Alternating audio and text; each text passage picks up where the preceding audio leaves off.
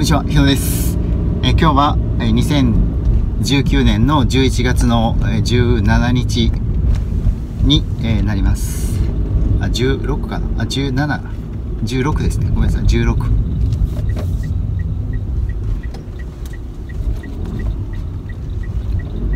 え今日はですね、え非常に寒い一日になりましたけれども、もう最近は、えーと朝晩がね、結構寒いので、ちょっとこう上もている状況なんですけれども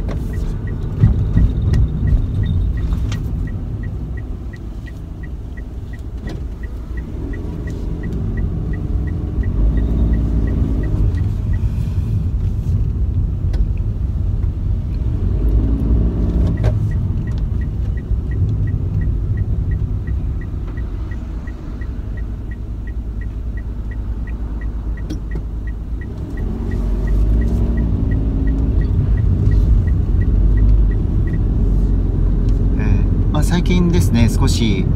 ま、動画を店の裏場で撮っている動画を少しですね何個かアップしたり、まあ、車の動画だけじゃなくてね車の動画ちょっともう控えめにしていこうと、まあ、言いながら撮ってるんですけれども、まあ、な以前に比べるとねちょっとペースはだいぶ落としていくと思います、まあ、運転に、え、専念した方がいいというのもあるので、えー、滝口幸宏さんですかね。34歳で、えー、の、えー、虚血性の、えー、心不全ですかね、まあ、虚血性の心不全。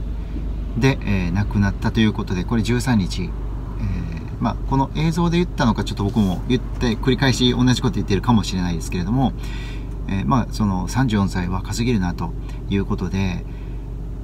まあ、日本ケフィアでこの前来ていただいた、まあ、中島さんという方がいらっしゃるんですけれども、まあ、この方がその、えー、納豆キナーゼっていうね血栓とか、えー、血血管に非常にいいって言われているものがあって、まあ、それの、まあ、紹介も兼ねて来ていただいたんですけれども、まあ、30代から、えー、そういったね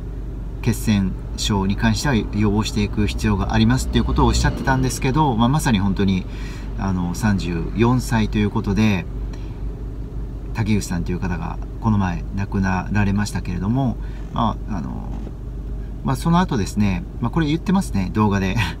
同じこと言ってるような気がしてごめんなさいね。で、言ってて、その後にですね、今日たまたま朝、何気なく、まあ、いくつかのこう、サイトを見てたら、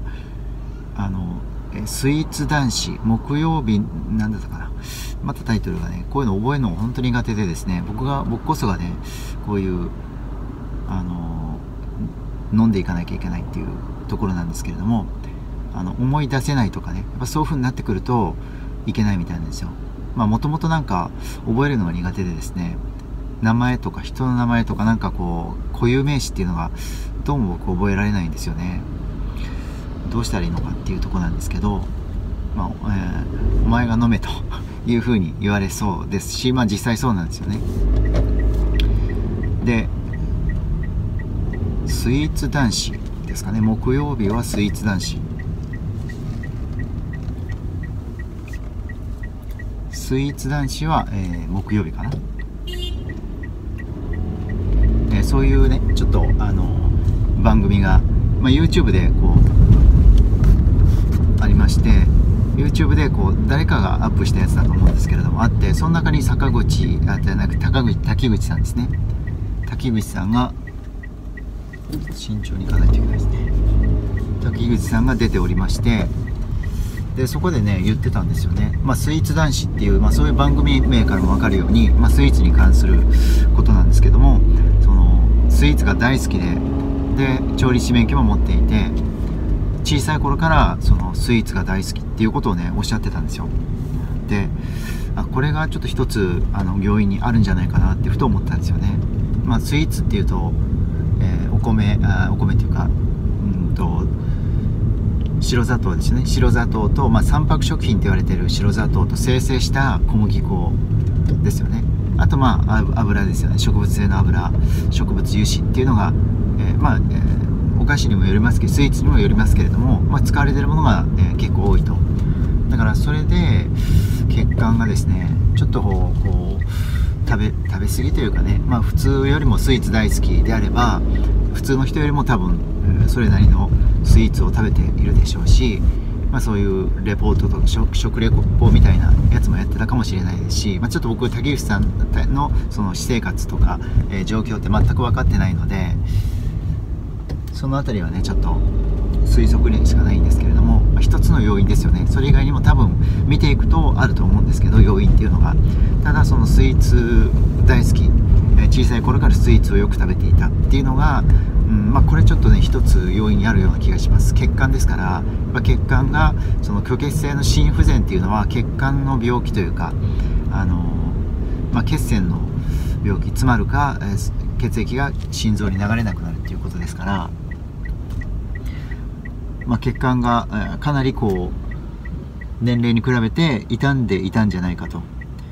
いうことが、まあ、推測はできるんですよね。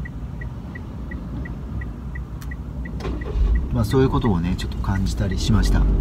まあ、何にしてもんなってしまってからで遅いし、まあ、たとえ命が助かっても、まあ、いろんな後遺症が残ったりする場合もありますしだからなる前に予防するってなるともう基本的なことなんですけれども食生活まあ、生活習慣それから意識意識の習慣そういったものを、うんまあ、整えていくしかないんですよね。でそれを整えていくことであの危険危険度は下げることができると思います。だから、まあ、誰もがなりうる病気ですよね。自分は絶対ならないって言っててもそれは100%そう言えるものではないと思いますし僕自身ももちろんそうです。なる可能性もやっぱあるわけです。だからそういう自覚を持ってで普段の食習慣食習慣とかね生活習慣そういったことを少し意識していく必要があるんじゃないかなと思います、まあ、今回そういうあの竹内さん、まあ、本当にね残念なことではありましたけれども、まあ、そこから僕たちが、えー、見てね何を、まあ、あの教訓にしていくかっていうところですよね、まあ原因はちょっとねそれだけではないということはね言えると思うんですけどただ一つの要因として、えー、それが少し肘を締めているような気がしますね。ということで、えー、今回はね以上になります。ありがとうございます。